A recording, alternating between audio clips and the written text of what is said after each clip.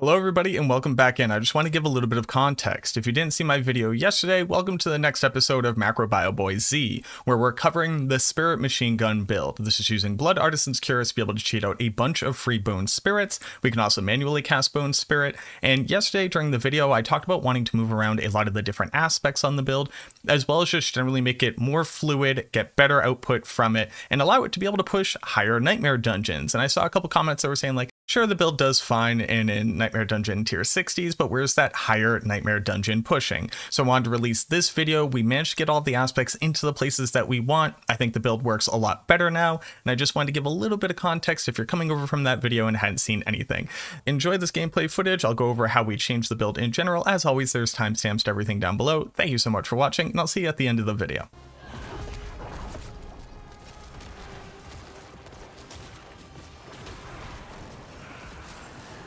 Need time to do that.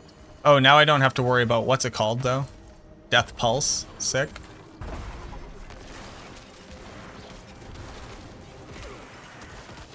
Zoop, zoop, zoopa Toscana.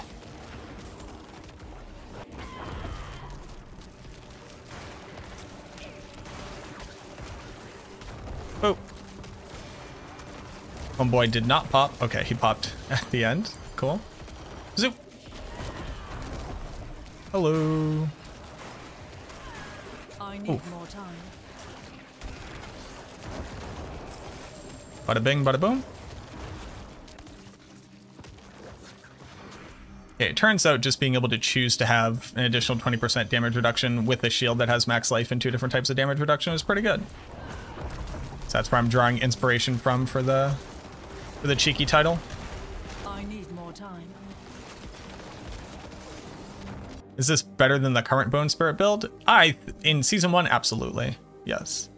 I believe so. It's basically the same against like a single pack of monsters, like uh, like if the Bone Spirit would kill them on the single pack, but it's when things keep joining into the fight that this one really starts to shine. Also, it's just like a better speed farming build, I think, I need more time. in general. Doesn't look that speedy because I'm in a tier 87 at 91 with incomplete Paragon boards. But, yeah.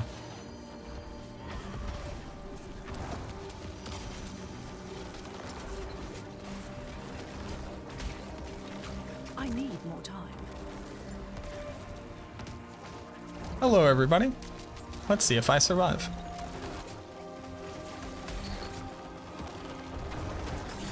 Oof. I need time to There we go.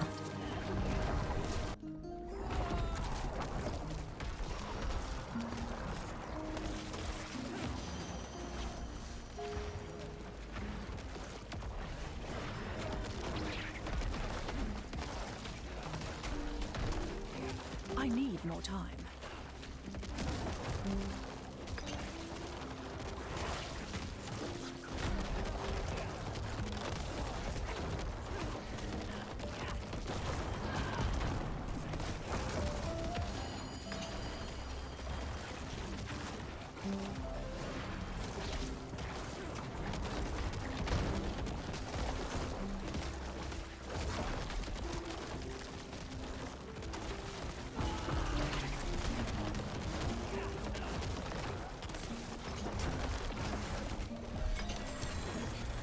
So if you saw my last video, you might have heard me talking about kind of moving around some of the aspects, some of the things that I think would be required for the build to really strive and do higher Nightmare dungeons, and well, I went and did that. So if this is your first time being introduced to it, welcome to the Spirit Machine Gun Necromancer. The idea is that you use Blood Artisan's Cuirass to cheat out a bunch of free Bone Spirit. You can cast Bone Spirit yourself, I wanted to move around a ton of the different aspects so I could slot in some additional survivability and utility. So I'm not going to go over every single thing again. I'm going to link to the video right here and I'm going to link to it in the description. So you can watch the original one just to get an idea. This is just to highlight what I changed and to also show some of the gameplay from this higher Nightmare dungeon. So I'm only level 91. This was a tier 87. It means that the monsters are 50 levels higher than me at this point. So pretty decent test for the survivability of a build that is running a piece of armor that doesn't have damage reduction or maximum life on it. So I'm pretty excited to show you what I've changed so you can get better idea of how to pilot this in higher nightmare dungeons. As you saw against the boss, I don't think that this thing has exceptional clear speed. I was a little bit afraid to actually be able to use Bone Spirit itself, and you notice when I did it at the end of the fight, seemed to clear it out much faster. So I think in the future, I would just make sure to open with Bone Spirit and cast it more often throughout the fight as opposed to relying on the armor itself. The big difference on the build right now is I swapped out to a real shield that has actual damage reduction stats on it, and I can put on another utility aspect. On top of that, I've moved around some of the other aspects just so I can fit more onto the build without having to sacrifice so much. But any shield that's going to have lucky hit chance, damage reduction, and maximum life are your go-tos here. I wish I just had damage reduction to close as well, but we can rely on having a corpse explosion up on the target so we can use damage reduction from shadow targets pretty easily. And then this one just happened to roll with two separate amounts of lucky hit chance. Now that I've tested it out, I'm actually going to go upgrade this shield. I completely forgot to do that. So I'm missing out on a ton of maximum life, a ton of damage reduction, and a ton of bonus lucky hit chance here. I've moved Serration off from our amulet so that we could add on Shielding Storm to the amulet since you can put a defensive bonus here. I would much rather have Disobedience, but I already have a perfect Disobedience here. This is a little bit of a meme build that I was just kind of trying out. So I think in the real end game version of this, I probably put Disobedience obedience onto the amulet if I really want to, and then leave Bone Storm either on the helmet or on the pants. I left Embalmer on the pants, moved Serration over onto the gloves, and I moved Explosive Mist down onto the boots. This is going to lose us a little bit of mobility because we don't have Wind Striker or Ghostwalker, but I think it's worth it to be able to add on the additional defensive aspect. And then we currently have Might on the shield. Might is obviously a great addition to the build. If you wanted to go even tankier, you could actually drop Hemorrhage and kind of not rely on that to be able to generate more blood orbs, but instead use Reap Reap is going to gain you additional damage reduction and also allow you to open up fights with a corpse so you can use that for corpse tendrils